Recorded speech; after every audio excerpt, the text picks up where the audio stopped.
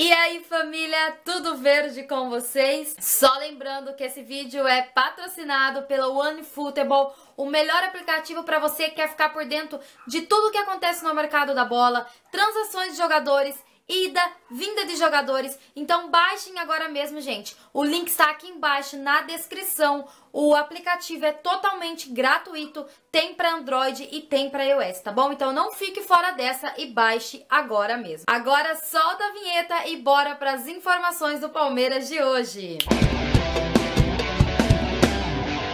Quando surge ao verde imponente, no gramado em que a luta o aguarda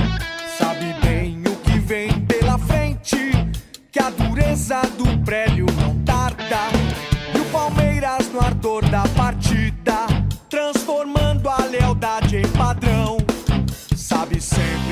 Então seja bem-vindo, você que está chegando no vídeo, se inscreva no canal se você não é inscrito e já ative o sininho da notificação. Sempre que tem informações do Palmeiras, eu trago informações para vocês e deixe aquele gostei se vocês gostaram do vídeo também. As minhas redes sociais estão aqui embaixo e também está passando no vídeo, então é só seguir lá, beleza? Bom, eu quero começar falando aí sobre as novidades do Palmeiras para 2020, as novidades em campo, né, gente? Porque agora o Palmeiras já tá treinando. Amanhã tem jogo. Pena que é tarde, né? 10 e meia da noite. Talvez, gente, eu nem faça. Provavelmente eu nem vou fazer um pós-jogo costume que eu tenho de fazer aqui, por conta de acabar muito tarde, eu vou ter que postar esse pós-jogo aqui uma hora da manhã. Muita gente nem vai assistir porque acaba trabalhando no outro dia, nem vai assistir o jogo também, né? Mas eu queria falar sobre as novidades do Palmeiras. Por quê? Porque agora nós temos uma dupla aí de zaga, acredito que vocês já devem ter visto, né? Que é o Felipe Melo e o Gomes, gente. Que dupla de zaga, né? O, o Gomes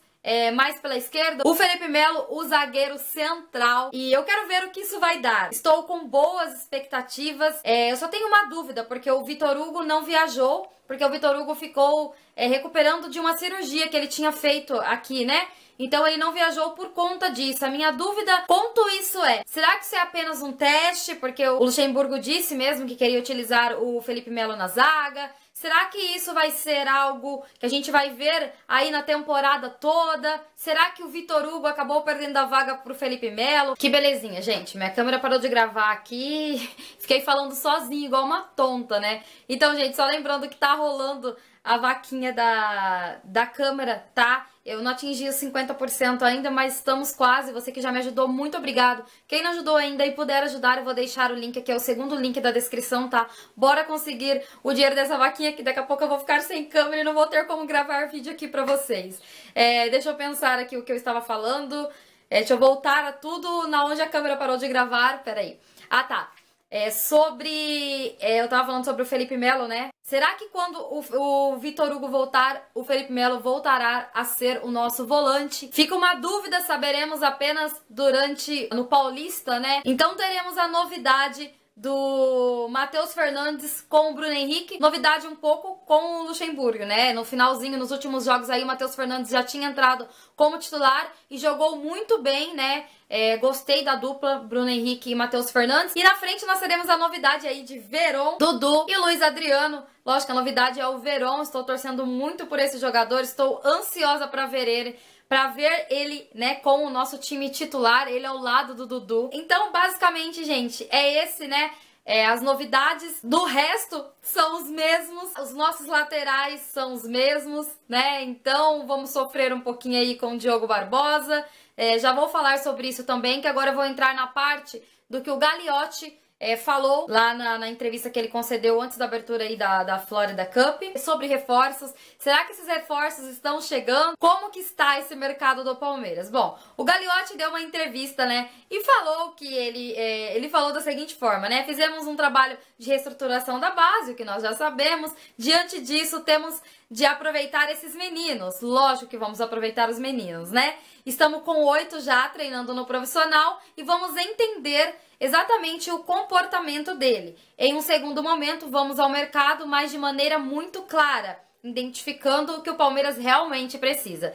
Eu não sei se o, Gagliotti acompanhou a temporada do Palmeiras em 2019, me parece que ele não acompanhou, porque se ele está falando que nós iremos ao mercado, né? Com contratações pontuais, ele não sabe então que nós precisamos de um lateral esquerdo com urgência.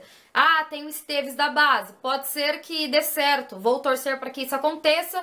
É, o problema é ele ter oportunidades. Tomara que o Luxemburgo dê oportunidades, senão nós teremos que sofrer com Diogo Barbosa. E eu não estou muito afim, né, de ver Diogo, ba Diogo Barbosa aí nas nossas laterais o ano todo novamente. Então acho que seria uma posição que o Palmeiras deveria ter, ter ido buscar no mercado, assim como um outro centroavante. Nós temos só o Luiz Adriano, mas o Luiz Adriano é, tenho medo de ficar fora por lesões. Ele já teve alguns históricos aí também recentes. É, e também um meia, né? Que com certeza eu também traria um meia. Não confio muito no Lucas Lima. O Scarpa com futuro indefinido, indefinido aí no Palmeiras. Então eu acho que a gente deveria buscar essas posições para não deixar todas as responsabilidades nos meninos da base. Vou reforçar aqui que eu estou feliz que o Palmeiras tenha utilizado, que o Palmeiras vai utilizar os meninos da base. Algo que a gente pediu muito aqui no canal, então estou feliz por esse ponto.